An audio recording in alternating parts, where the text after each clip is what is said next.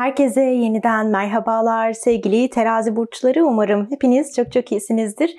Bugün tüm güneş yükselen ay burcu terazi olanlar için Temmuz ayına özel bir tarot okuması yorumlayacağım. Şimdiden her birinize çok güzel, çok harika bir Temmuz ayı diliyorum. Temmuz ayı ile ilgili niyetlerim, düşüncelerim şu aralar bayağı iyi ve birçok burç için yani heyecanlıyım, yüzüm gülüyor. Sizde de aynı şekilde yüzümü güldüren bir burçsunuz şu anda. Her şeyin hayırlısı olsun. Güneş yükselen ay burcu. Terazi olanların en yüksek hayır ve niyetlerine en doğru en gerçek rehberliği sunmaya niyet ediyorum. Temmuz ayında terazi burçlarını neler bekliyor? Kart kendisini attığı kılıçların beşisiyle beraber şunu söylüyor. Aklında çok fazla şey var. Aşırı derecede düşünüyorsun. Bu düşüncelerin hiç hiç korkma. Seni kalkıp da ya kötü düşünüyorum, kötü olacak diye düşünme. Çünkü hemen arkasından bir imparatoriçe geliyor. Bu dönemde ya güneş yükselen ay burcu boğa olan bir kişiden çok böyle eğer bir erkekse babacan bir tavırla bir kadınsa çok anaç bir şekilde ondan hem maddi hem manevi anlamda çok güzel, çok büyük faydalar görebilirsin. Tabii ki kişinin durumuna, konumuna bağlı olarak artık ne verebiliyorsa, elinden ne geliyorsa sizin için yapabilir bu Temmuz ayında. Ama onun haricinde imparatoriçe dediğimiz zaman herkese hitap edebilen kralın başında taç var ya, taç kimin başındaysa o kraldır. İşte burada taç sizsiniz. Burada siz neredeyseniz orası güzelleşiyor. Siz neredeyseniz orası bir değerleniyor. Orası bir bereketleniyor. Bunun gibi bir olayı anlatmakla beraber hani bazı insanlar ayağını süreye süreye bereketi götürür ya oraya gittiği yeri güzelleştirir. Siz de böylesiniz bu Temmuz ayında. Bu da tabii ki ortamlarda iş olsun, başka şey olsun çok sevilmenizi ister partnerin ailesiyle tanışın, ister iş yapın, ister satış yapın. Ay ben sizi çok sevdim, size ben yardımcı olacağım gibi şeyler duyabilirsiniz. Ve tabii ki imparatoriçe demek aşk demektir. Bolluk, bereket, doğumlar, düğünler, dernekler her şey bol bol olur bu dönemde ve çoğalır, artar. Yani mercimek çorbası gibidir. Üstüne su kattıkça size daha fazla yiyecek verir. Biraz çabayla daha büyük şeyler elde edebileceğiniz bir dönem ve hani e, bu Temmuz ayını kaçırmayın. Size bazı şanslar, fırsatlar, teklifler ya düşünür müsünüz böyle bir şey e, gibi yani teklif diyebileceğim şeyler gelebilir. Çok fazla şart olmaz. Sizi şartlarda zorlamaz aynı zamanda. Biz yani kolay bir süreçtir aslında bakarsanız Temmuz ayı sizin için. İmparatoriçe geldiğinden dolayı e, maddi anlamda da böyle bir yenilik olayını da beraberinde getiriyor. Bakın hemen yanına da bir kılıçların padişahı geliyor. Kılıçların padişahı demek sizin hırs yaptığınız, sizin çok istediğiniz bir konuda artık sonuca ulaştığınızı, ulaştığınız sonuçtan da çok memnun olduğunuzu, evet belki önceki zamanlarda son kez bir engele takılmıştınız. İşte belki üst kademedekilerden dolayı, belki şartlar müsait değildi. Ama artık Temmuz ayı şunu söylüyor. Sana para gelir, paradan dolayı artık bir yani bir engele takılmazsın.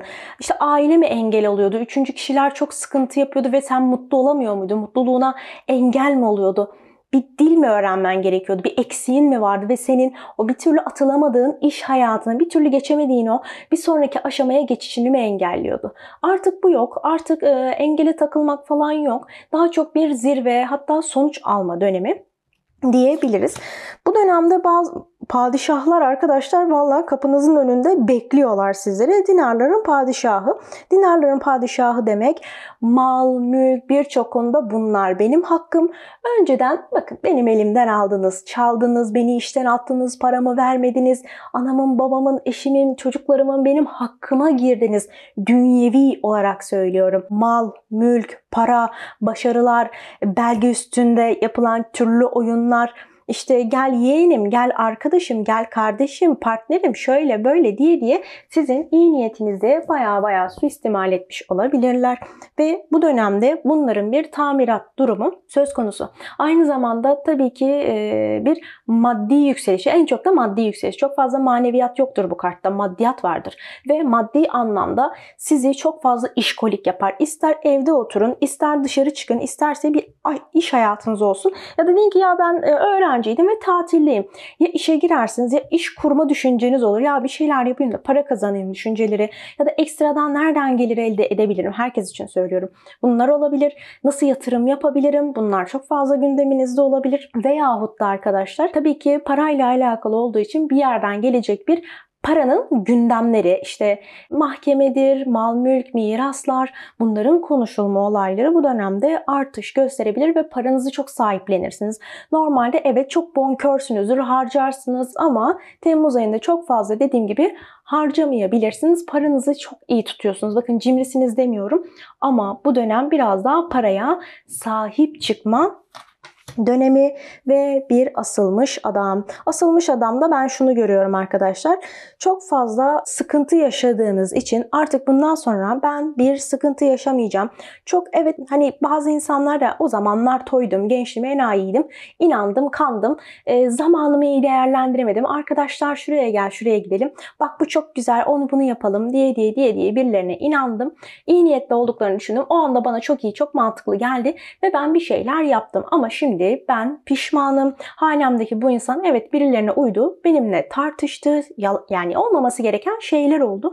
Ve bugün için benim iş yaşantımı, aşk yaşantımı, aile yaşantımı veya başka şeyleri çok etkiledi. İşte borca girdim bir şeyler oldu. Ama ben bunlardan artık ders aldım çünkü ben asıldım. Bir sıkıntı oldu ama ben bu Temmuz ayında bu kart geldiği için asıldım ve bitti. Yani sıkıntıysa sıkıntısını yaşadım. Borçsa borcunu artık ödedim ya da ödüyorum. Pişmansam pişmanlığımı yaşadım ama bitti. Tabii ki bitecek. Sonunda ölüm yok ya. Yani bitti artık o dönem. O sıkıntılı süreç bitti ve artık bu saatten sonra benim için yaşanacak sıkıntılar değil, o dağıttığım hazineleri toplama dönemi, o verdiğim merhameti şimdi geri toplama dönemim. Belki bir şeyler kaybettiyseniz, bir aile kaybı oldu belki de. Tekrar bir aile kurabilirsiniz, ailenizi tekrardan bir araya toplayabilirsiniz. Ee, birilerinin gönlünü alabilirsiniz. Size karşı yanlış yapan insanlar olduysa, bu insanlar da bu dönemde e, sizin gönlünüzü almaya gelebilirler. Devam ettiğimde bir macera var. Macera varsa şunu söyler. Aynı buradaki gibi. Seni gerçekten gökkuşağındaki gibi yedi farklı renk, yedi farklı güzel olay bekler. İş, aşk, para, gelişim, işte gezme, tozma, başka şeyler seni çok güzel şeyler bekler. Sadece sizi değil bakın. Hanedeki insanların durumları da, çevrenizdeki insanların gelişimleri de sizi ister istemez etkileyebiliyor. Ve sizin de bu dönemde bunlardan etkileneceğiniz ortalama olarak 7 tane güzel olaydan bahsediyor. Tabii ki bir macera, farklılık vardır burada. Normalde yapmadığınız ani kararlar bu dönemde alabilirsiniz. Hadi kalkın gelin gidelim. Hadi kalkın şöyle yapalım ben bu işten anlamıyorum ama ben bu işi kuracağım. Ben şöyle yapacağım. Ben bunun kursuna gideceğim. Normalde yatırım yapmıyorsanız Temmuz ayı belki yatırım yapacaksınız. E normalde hayatınızda birisi yoksa belki bir aşk macerası yaşayabilirsiniz. Tabii ki herkesin e, macera anlayışı farklı. Kimisinin gezme tozma olabilir. Kimisinin aşk, kimisinin e, başka bir hani hiç yapmadım bir kere yapalım ya ne olabilir ki ne kaybedebilirim diyerek böyle bir şeylere bir girişme, yeni bir serüvene başlama durumunuz olabilir. Ama bakın farkındaysanız bu olayla ilgili çok küçüksünüz, çok toysunuz, çok fazla böyle bildiğiniz bir konu değil demek ki yeni, çok da böyle bilmediğiniz, aşina olmadığınız ama merak ettiğiniz maddiyattır, başka bir şeylerdir, yurt dışıdır. Bunlara böyle bir eğilim durumunuz ona keza olabilir. Ve tabii ki macera demek ilerleyiş demektir. Hayatınızda tecrübe edebileceğiniz iş olsun, olsun, başka şeyler olsun bunların olmasını ve bunların da sizi ileriye taşımasını anlatıyor. Bir atılım kartı var. Atılım tabii ki tahmin edeceğiniz üzere kalıpların yıkılması. Yani o kadar çok belki şimdi terazi burçlarında birazcık girişimci olmak vardır. İleriye doğru gitmeliyim ve bunun için benim önüme koyulan tabuları, küpleri bilmem neleri döverek, yıkarak, lafımla, sözümle, başarılarımla bir şekilde benim yıkmam gerekiyor. E bunun için de e, bir şeyler yapmalıyım bir anda böyle aynı buradaki gibi bakın pat diye böyle dışarı doğru patlayıvermiş. Yani burada kendinizi çok net bir şekilde ifade edebileceğiniz ya bu terazi burcu çok sessiz çalışmıyor mu? Kimse bunu beğenmiyordu ondan mı evde kalıyor? Kocası, karısı işte aman evde otursun, sokağa çıkamaz mı diyor. İşte çocuğu mu olmuyor? Nedir yani? Böyle bir hani hakkınızda yapılan dedikoduya varacak bazı konuşmalar varsa bunları da susturabilirsiniz. Yani bu atılımınızla beraber bir girişimci olma durumunuz var. Bir olasılıklar geliyor. Olasılık demek arkadaşlar sizin önünüzde bir seçenek olduğunu ve bu seçenekler sayesinde artık çıraklık döneminin bittiğini, kalfalık döneminin de ona keza bittiğini ve artık sizin bir usta olacağınızı, bu ister aldığınız eğitimler olsun, ister kariyer hayatınızdaki bir yükseliş olsun, bir de bir şeyleri öğrenmek vardır. Bakın burada bir maceradır. Hadi bismillah deyip ya da hadi bakalım deyip giriştiğiniz işlerde kimisi bir senede öğrenir, kimisi 6 ayda öğrenir. Belki siz çok büyük emek sarf ediyorsunuz. Herkesin günde 1 saat ayırdığı şeye siz günde 5-6 saat ayırdığınız için bir iki ay sonrasında belki de o işin ustası olup o işin kurdu olup çıkacaksınız ve diğer insanların takır takır takır takır önüne geçebilirsiniz. Ama burada tabii ki sizden ne istiyor? Usta olmak için çok büyük emek vermek gerekiyor. Çok uğraşmak gerekiyor. Dedim ya belki kurslar, belki yatırımlar öyle 3-5 araştırmayla değil. Yani büyük bir süreçte, büyük bir atılım Maceranız demek ki atılım yapmakla alakalı ön plana çıkacağınız konular var. Hem de hanenizdeki kişiler için de aynı şekilde.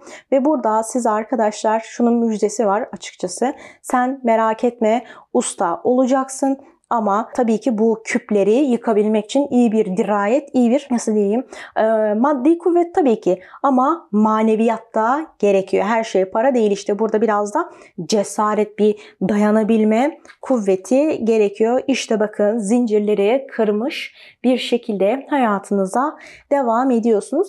Bu e, açıkçası Temmuz ayı bakımınız benim çok çok hoşuma gitti. En başta bir şeyler yapabilmeniz, padişahların yani erkek kişilerin e, ve yaşça birazcık büyük erkeklerin hani böyle baba gibi, amca gibi, dayılar gibi ya da işte bu meslekte 30 senedir olan bir insan işte 20 yaşına girdiyse 30 yıl, 40 yıl üstüne koyduğunuzda yani 50'ler, 60 yaşlarındaki insanlar hani kalkıp 18-20 yaşında ya da 30 yaşındaki insanlardan bahsetmiyorum. O işe, o mesleğe, o süreçlere gönlünü vermiş, size aşk hakkında bir şeyler söyleyecekse 2 senelik ilişkisi olan değil, 30 yıldır, 40 yıldır çok mutlu bir evliliği olan insandan bahsediyorum. Ee, biraz daha bu kişilerden alacağınız öğütler, bu kişilerden alacağınız yardımlar ve paralar biraz daha gündeminizde görünüyor. Ve asi olmanız evet gerçekten sizin buradaki aynı Şahin gibi her şeyi görüyorum, her şeyi gözlüyorum. Nerede benim için, evlatlarım için, ailem için bir fırsat var. Bir şeyler arıyorum, bir şeylere bakınıyorum. İşte ev arıyorum, iş yeri arıyorum, düğün yapılacak mekan arıyorum ve gerçekten tarıyorum. Eh gerektiğinde biraz da burada zincirleri kırmak, gerekirse tabuları yıkmak gerekiyor şeklinde böyle bir atılım durumunuzda var. Yani gerçekten bir atılım Temmuz ayında size çok çok iyi gelebilir. Tabii ki bunun ardı arkasına baktığınızda atılım yapmak için para gerekiyor. Atılım yapmak için zaman gerekiyor. Biraz e, mental sağlık gerekiyor. Demek ki bunlar sizde oluşmaya başlamış. Değnek prensesi demek sizin manevi anlam, bakın maddiyat tamam ama manevi anlamda bir şeyleri yapabilmek için ben bu süreçte başarılı olacağıma inanıyorum. Bir yere kadar maddi olaylar işte okulsa kitapları aldım. Kursumu buldum. Şu işi yapacağım. Tamam biraz oradan biraz buradan ufak ufak bu para işte eşya mı alacaksınız işe başlamak için bunlar. Avukat mı tutuluyor? Tamam oralar. Ama bir de bunun için manevi anlamda araştırma, öğrenme üzerine çok fazla e, birikim yapılması gerekiyor ve sizde bunlar bu öğrenme olayları yoğun bir şekilde var. Değnek beşlisi burada. Değnek beşlisi sizin kafanızın içinin çok fazla dolu olduğunu, sizin artık yavaş yavaş tamam kafamın içi çok dolu olabilir. Sebebi bu. Ve e, bu ömür billah böyle gitmez. Beni rahatsız eden bir şey var. Kendi güncel hayatımla alakalı ya da niyetimle alakalı. Benim bunu düzeltmek için bakın kılıç üçlüsü. Benim bunu düzeltmek için Gidip eşimle konuşmam gerekiyor. Ya da partnerimle. Ya biz bak evleneceğiz ama benim aklımda bir soru işareti var. Ya annenler beni sevmezse ya şöyle olursa sen hiç merak etme öyle bir şey olmayacak. Hiç kendini üzme, hiç kendini sıkma. Olmamış olaylar için şimdiden işte ay beni aldatır mı? Şimdi de olmamış şeyler için ay beni kazıklarlar mı? Ay sonra bana inanmış, bana güvenmiş gibi yapıp bir anda kendilerini geri çekerler mi? Bakın aklınızdaki şeyler hep keder, hep sıkıntı, hep problem. Olaylara ben yaparım, ben başarırım, benim çocuklarım çok iyidir, eşim çok iyidir, partnerim çok iyidir, yapar, başarır, eder. Bu şekilde bakmak gerekirken birazcık son zamanlarda muhtemelen yaşadığınız bazı manevi çöküşler ya da etrafınızda gördüğünüz insanlar, okuduğunuz haberler sizin belki evet canınızı sıkıyor olabilir. Ama artık arkadaşlar dediğim gibi bir asilik var. Bu asilikle beraber artık e, yani yıkıyorsunuz gerçekten zincirlerinizi kırdığınız, biraz daha özgürleşmek adına çeşitli çabalarda bulunduğunuz bir dönem.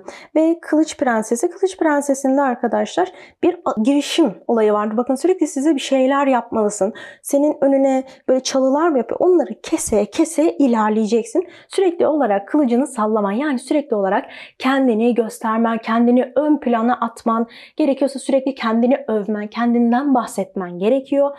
Ve bir ilerleyiş durumun var.